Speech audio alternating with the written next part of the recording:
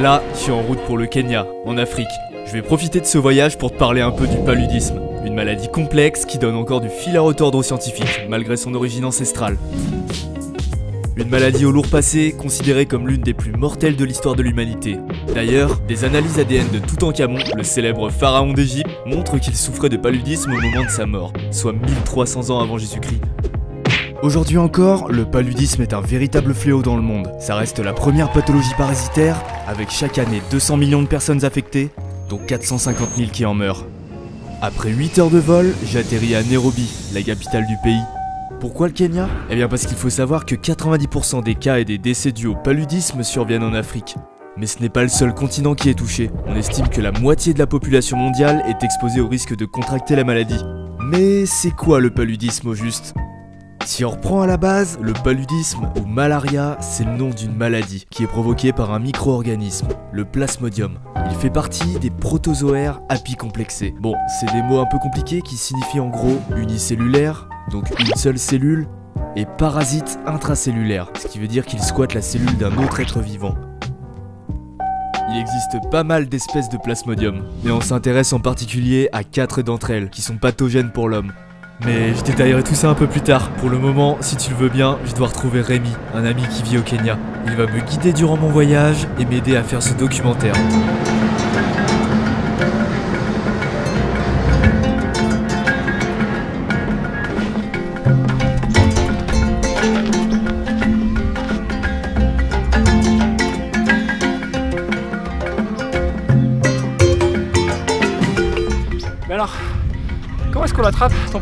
Le paludisme est transmis par la piqûre d'un moustique, du genre Anophel. Seules les femelles transmettent la maladie, lors de leur repas sanguin. C'est le médecin anglais Ronald Ross qui découvre ce mode de transmission en 1898, après avoir disséqué des centaines d'anophèles et observé le parasite dans le tube digestif des moustiques, ce qui lui vaut le prix Nobel de médecine.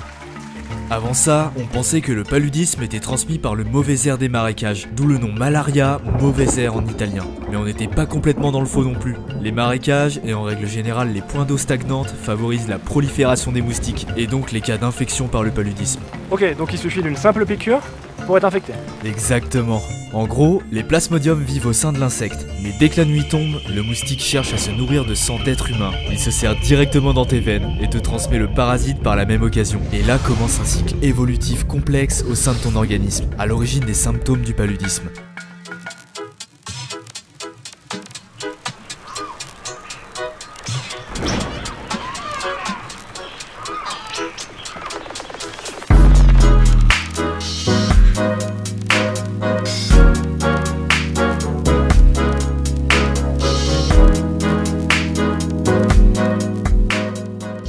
Cycle comporte beaucoup d'étapes, mais ce qu'il faut retenir, c'est qu'une partie se passe chez l'être humain, où la reproduction du parasite est asexuée, tandis que l'autre partie a lieu dans le corps de l'anophèle. C'est là que se déroule la reproduction sexuée. Ça veut dire qu'il y aura fécondation entre les formes mâles et femelles, si tu vois ce que je veux dire. L'homme constitue donc l'hôte intermédiaire, et l'anophèle l'hôte définitif du parasite. On commence chez l'être humain, qui vient d'être piqué par un moustique. L'insecte lui inocule tout plein de plasmodies, qu'on appelle à ce moment des sporozoïdes. Ils ont une forme allongée, comme tu peux le voir sur cette photo prise au microscope électronique. Les sporozoïdes vont se diriger dans ton foie pour s'y multiplier pendant environ une semaine. Dans les cellules hépatiques, ils se transforment en ce qu'on appelle des schizontes, à multiples noyaux. Ils finissent par éclater pour libérer des milliers de mérozoïdes dans le sang. L'objectif des mérozoïdes est alors de s'introduire dans les globules rouges qui circulent. Ouais, ok, mais ça leur sert à quoi de squatter nos globules rouges? Ça leur sert à se développer. Ils se transforment en ce qu'on appelle des trophozoïdes. Trophozoïdes, ça vient du grec trophée, qui veut dire nourriture, croissance. Et ça prend tout son sens ici. Les parasites boulottent l'hémoglobine contenue dans les globules rouges et grandissent. Ils se multiplient, se transforment de nouveau en schizontes et libèrent encore une fois des mérozoïdes. C'est là que les symptômes commencent, comme la fièvre par exemple.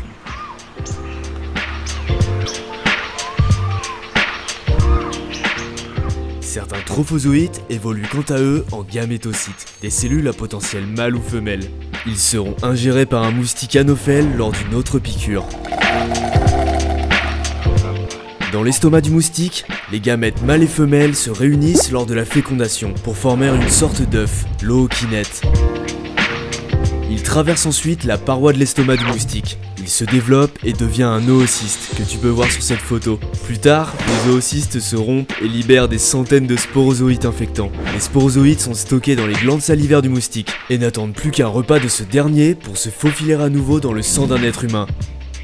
Donc si l'on veut faire un résumé du cycle, on a d'abord une schizogonie hépatique, puis une schizogonie sanguine, et enfin la reproduction sexuée au sein du moustique. Et le cycle recommence encore et toujours. Il ne s'arrêtera pas tant qu'il y aura des moustiques et des êtres humains à piquer.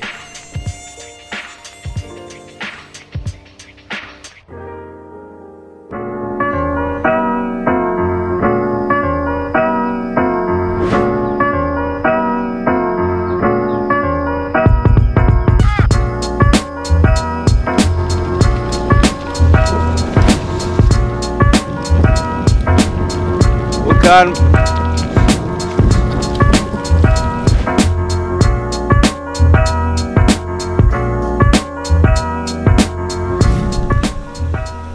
Mais du coup, concrètement, ça fait quoi d'avoir le paludisme?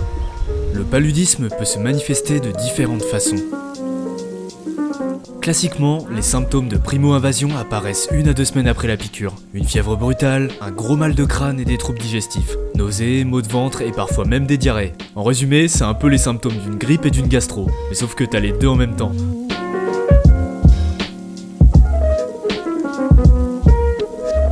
Puis on observe ce qu'on appelle des fièvres périodiques. Ce sont des pics de température espacés par des périodes régulières. Ces pics font suite à l'éclatement massif des globules rouges, qui libèrent à la fois des parasites, mais aussi des déchets toxiques, comme l'hémozoïne, un produit de dégradation de l'hémoglobine. Par exemple, pour Plasmodium vivax et ovale, la fièvre survient tous les deux jours. On appelle ça une fièvre tierce bénigne. Pour Malariae, c'est tous les trois jours. C'est une fièvre quarte. Pour ce qui est des symptômes, je laisse Anthony prendre la parole. Il a en effet déjà eu affaire avec le parasite dans sa jeunesse. Au début, j'avais très froid. Après, je ressentais au contraire beaucoup de chaleur dans mon corps. Puis tu te mets à transpirer énormément. Et tu ressens comme si euh, ton corps n'avait plus d'énergie. T'as juste envie de dormir et t'as même plus la force de marcher. Petite anecdote, pour Vivax et Ovale, les fièvres peuvent parfois se manifester des mois voire des années après la piqûre de moustique. Ça peut arriver quand le parasite reste à l'état quiescent au sein de ton foie. On les appelle donc des hypnozoïtes. Mais la forme de paludisme qui est la plus à craindre, c'est l'accès grave, qui peut entraîner la mort, surtout chez les jeunes enfants, les femmes enceintes et les voyageurs. Une seule espèce est responsable de cette symptomatologie, c'est Plasmodium falciparum. L'accès grave ou pernicieux se manifeste par un début brutal ou progressif, qu'on appelle neuropaludisme. Une fièvre importante, des convulsions, un mal de tête intense. Après cette phase, la personne peut carrément tomber dans le coma, et c'est tous les organes qui sont susceptibles d'être touchés à leur tour. Les reins, les poumons, le foie, etc. Sans traitement, le malade peut mourir en deux ou trois jours. Autre anecdote un peu plus insolite. Les fièvres provoquées par le paludisme sont tellement fortes que les médecins du XXe siècle en avaient fait une thérapie pour soigner la syphilis. La syphilis, c'est une maladie infectieuse sexuellement transmissible, provoquée par une bactérie. À l'époque, sans les antibiotiques, les malades atteints de syphilis pouvaient mourir de complications cérébrales. Les médecins ont donc eu l'idée de recourir à ce qu'on appelle la malaria-thérapie. Le principe est simple. Ils inoculaient aux malades des plasmodiums contenus dans du sang humain impaludé. La température élevée du corps tuait ensuite toutes les bactéries responsables de la syphilis. Ouais, donc en gros, au lieu de mourir de la syphilis, il mourrait du palu quoi. Bah, les médecins injectaient ensuite de la quinine, un médicament antipaludique, pour faire redescendre la fièvre. Mais bon, t'imagines bien que ça marchait pas à tous les coups. C'était un peu du grand n'importe quoi. Je ferme la parenthèse. Comme tu l'as compris, le paludisme est une maladie difficile à diagnostiquer, car les symptômes peuvent être différents selon la personne infectée et selon l'espèce qui l'infecte. En tout cas, ce qu'il faut retenir, c'est que toute fièvre en retour de zone d'endémie est un paludisme jusqu'à preuve du contraire. Ouais, donc en gros, si je reviens d'Afrique avec euh, une fièvre, je serais pris en charge comme un palu, alors qu'au final, j'aurais peut-être juste euh, une petite fièvre. Et ouais, principe de précaution. On va rechercher en priorité une infection par le paludisme. On va procéder alors à un diagnostic biologique.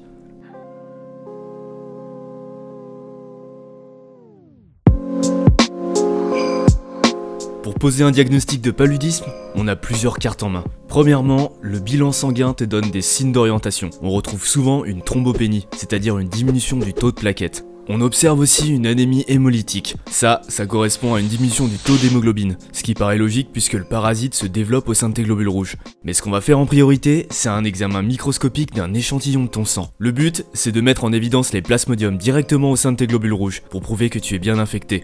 Le premier à avoir vu les formes parasitaires dans le sang est un Français, Cocorico, monsieur Alphonse Lavéran, médecin militaire qui observe pour la première fois les hématozoaires en 1880 et qu'il décrit ensuite dans plusieurs ouvrages. Après avoir pris un peu de ton sang, on l'étale sur une lame de microscope. C'est ce qu'on appelle un frottis sanguin. Ensuite, on colore tout ça au Megrenval Giemsa, un colorant spécial qui fera apparaître les plasmodiums sur les lames. Et là commence un travail minutieux d'observation. Tous ces petits ronds gris, ce sont les globules rouges, ou hématies en termes scientifiques. Le but, c'est de trouver des formes parasitaires au sein des hématies. Pour ça, il faut zoomer un peu. On se place au grossissement sang à immersion.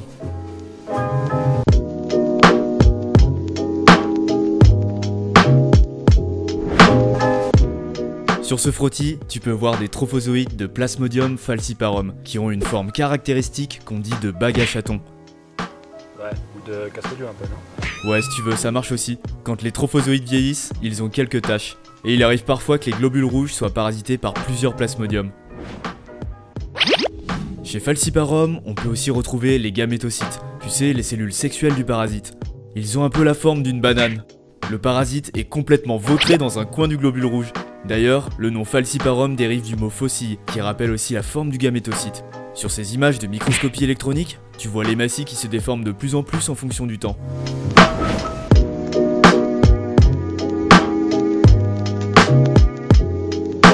Chez Vivax, on peut aussi voir des trophozoïtes, mais ils prennent beaucoup de place dans le globule rouge. On dit que les hématies sont macrocytaires, elles sont gonflées par le parasite. Les anneaux des trophozoïtes sont larges, et il y a des granulations typiques dites de Schuffner. On observe aussi des schizontes, cellules qui contiennent plusieurs mérozoïtes. Les gamétocytes, quant à eux, n'ont pas une forme de banane, ils sont plutôt ronds comme tu peux le voir. Comme on trouve un peu de tout sur un frottis de Vivax, on dit qu'il est panaché. Chez Plasmodium ovale, on observe toutes sortes de formes, comme chez Vivax. Les hématies sont de grande taille et sont, comme le nom de l'espèce l'indique, de forme ovale. Parfois, les globules rouges ont des sortes de franges. Les trophozoïtes ont des anneaux larges avec granulation de Schuffner. On peut aussi croiser des schizontes. Et enfin, des gamétocytes sphériques. Allez, un petit dernier pour la route. Chez Malariae, on retrouve aussi tous les stades parasitaires. Les hématies sont contrairement à Vivax et Ovale de petite taille. On dit qu'elles sont microcytaires. Il n'y a par contre pas de granulation. La particularité de Malariae, c'est ses trophozoïtes, en forme de bande équatoriale, ou de tranche de bacon un peu. Oh. Ça fait beaucoup d'infos là quand même, non? Ouais, je comprends bien. Le but ici n'est pas de tout retenir, mais ce que je veux dire, c'est que connaître toutes ces différentes caractéristiques peuvent t'aider à poser un diagnostic. Comme je te le disais tout à l'heure, c'est l'infection à Plasmodium falciparum qui entraîne l'accès grave et la mort s'il n'est pas traité à temps. Il est donc indispensable de savoir reconnaître cette espèce. En plus de distinguer les espèces, le frottis est utile pour calculer la parasitémie, c'est le degré d'infestation par le plasmodium. Le calcul est simple, on fait le rapport des cellules parasitées sur le total des cellules. Là par exemple, sur ce champ, tu as 1, 2, 3, 15 hématies sur environ une centaine. Ça te fait une parasitémie de 15%, ce qui est énorme. Après le frottis sanguin, on fait ce qu'on appelle une goutte épaisse. On fait un gros pâté avec ton sang qu'on étale sur une lame puis on observe ça au microscope après l'avoir coloré. Ça permet de concentrer le sang et ça augmente donc les chances de croiser les plasmodiums à l'observation microscopique. La troisième méthode de référence, c'est le QBC Malaria Test, qui est basé sur le marquage par fluorescence des formes parasitaires. Tout ça, c'est les méthodes de référence, mais il y a d'autres possibilités pour le diagnostic. Les tests de diagnostic rapide, ou TDR, ils sont super simples d'utilisation. Il suffit de mettre une goutte de ton sang sur le test et d'attendre une vingtaine de minutes. Le principe du test repose sur de l'immunochromatographie. Il réagit et devient positif quand l'échantillon de sang contient des protéines spécifiques du parasite. Cependant, même s'ils sont très pratiques et rapides, ils ne permettent pas de calculer la parasitémie, et ils peuvent parfois donner ce qu'on appelle des faux positifs.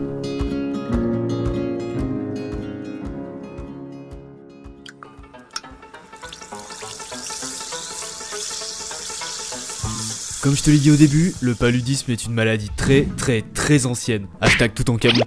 Les êtres humains ont donc eu le temps d'expérimenter toutes sortes de traitements. D'abord issus de toutes sortes de plantes, puis plus récemment générés par la chimie. Parmi les plantes, on peut citer l'arbre à fièvre. L'arbre à fièvre, ou quinquina, est utilisé depuis très longtemps pour combattre les fièvres du paludisme, notamment par les Indiens d'Amérique. Ce sont ensuite des jésuites espagnols qui rapportent la poudre de l'écorce en Europe. Mais ils maîtrisent pas tout à fait les dosages et ne savent pas vraiment comment le remède fonctionne. Il faudra attendre 1820 pour que deux pharmaciens français, Pelletier et Caventou, parviennent à isoler le principe actif contenu dans l'écorce de l'arbre, la quinine. Rappelle-toi, je t'ai dit tout à l'heure que le plasmodium se nourrit de l'hémoglobine contenue dans tes globules rouges. Eh ben la quinine agit sur cette digestion de l'hémoglobine. Elle pénètre dans la vacuole digestive du parasite et favorise l'accumulation du composé de dégradation de l'hémoglobine, la fé... la la ferriprotoporphyrine 9, qui est très toxique pour ce dernier. La quinine est un puissant médicament qui est encore utilisé aujourd'hui, mais elle a l'inconvénient d'avoir pas mal d'effets secondaires, comme le fameux quinconisme. Après la Seconde Guerre mondiale, les scientifiques parviennent à faire un dérivé antipaludique de synthèse, la chloroquine, une molécule très efficace, facile à produire, qui fonctionne un peu comme la quinine. Puis d'autres molécules de synthèse arrivent sur le marché, comme le proganil ou la pyrimétamine. Malheureusement, les traitements ne sont pas infaillibles. Le paludisme est de plus en plus résistant à ces médicaments, en particulier à la chloroquine. Dans les années 60, le Vietnam connaît une endémie palustre désastreuse, en particulier chez les soldats qui séjournent dans des marais d'eau stagnante, dans l'urgence, les chercheurs militaires chinois se mettent à étudier de vieux remèdes traditionnels à base de plantes. Ils s'intéressent à une plante en particulier, l'armoise annuelle, qui contient une molécule prometteuse, l'artémisinine. Après quelques expérimentations, ils parviennent à faire des dérivés semi-synthétiques de l'artémisinine, à partir du squelette de base. De là naissent l'artéméter et l'artésunate. Ces molécules très efficaces sont déclarées par l'OMS en 2001 comme le plus grand espoir mondial contre le paludisme.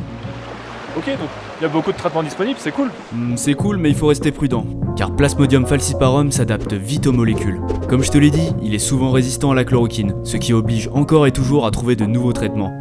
Toutes ces molécules sont prescrites en suivant des recommandations, selon l'espèce, le terrain du patient et la gravité de l'accès. Je vais pas détailler chaque situation, ça prendrait une éternité. Mais tu peux retenir que pour traiter un accès grave, il faut hospitaliser en urgence le patient et lui administrer de l'artésunate.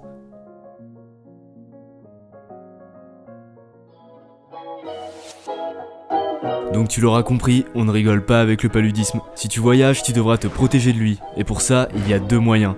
Le premier, c'est de s'opposer au vecteur de la maladie. En d'autres termes, combattre les piqûres de moustiques. Porte des vêtements longs, couvre bien tes bras, tes jambes et toute autre partie qui pourrait aguicher les moustiques. Ensuite, je te conseille d'appliquer sur ta peau un spray répulsif. Attention à ce que tu achètes. Regarde bien sur la description du produit si ça convient aux moustiques tropicaux. Enfin, sache que les anophèles piquent surtout la nuit, donc essaye de dormir sous une moustiquaire imprégnée d'insecticides, et évite de sortir la nuit si tu peux. Le deuxième, c'est de s'opposer au parasite lui-même, grâce à des médicaments préventifs. Là, tu as plusieurs possibilités. L'association Atovacon Proganil, un comprimé par jour, pendant le voyage, puis pendant une semaine. La chloroquine ou bien la doxycycline, un comprimé par jour pendant ton séjour, puis continue 4 semaines après. Et un petit dernier, la méfloquine, à prendre au moins 10 jours avant ton voyage, afin de tester la tolérance. Du coup, je me demandais, il y a plein de Kenyans, ils ont pas de traitement, ils ont pas de protection particulière, et pourtant ils se portent super bien. Comment ça se fait? Effectivement, les populations exposées au paludisme au long terme développent une sorte d'immunité acquise à force d'être en contact avec le parasite. Ça s'appelle la prémunition. Ça réduit considérablement le risque de développer un paludisme grave. Mais il faut faire attention, car cette prémunition n'est jamais définitive. Un Africain qui voyage en zone non exposée pourra perdre cette espèce d'immunité en quelques années. Il existe aussi une immunité innée chez certaines personnes ayant des facteurs génétiques particuliers ou des pathologies du sang. Par exemple, les gens atteints de drépanocytose ou de déficit en G6PD sont protégés naturellement du paludisme. Leur handicap est ici une force. Je pense que je vais m'arrêter là. Il y a énormément de choses à dire sur le paludisme. Si tu veux plus d'infos, tu peux consulter mes sources dans la description. Merci à madame NDI qui a validé mon script et qui me suit depuis le début. Merci à toi mon pote Rémi, sans qui toute cette aventure n'aurait été possible. Moi, je rentre en France avec déjà tout plein de souvenirs en tête et déjà l'envie de repartir explorer ce monde plein de parasites. Ne rate pas mes prochaines vidéos, abonne-toi et clique sur la cloche. N'hésite pas à liker et à commenter. Et si tu as des questions, j'y répondrai avec plaisir, dans la limite de mes connaissances. Allez, je te dis à bientôt sur Spiroquette.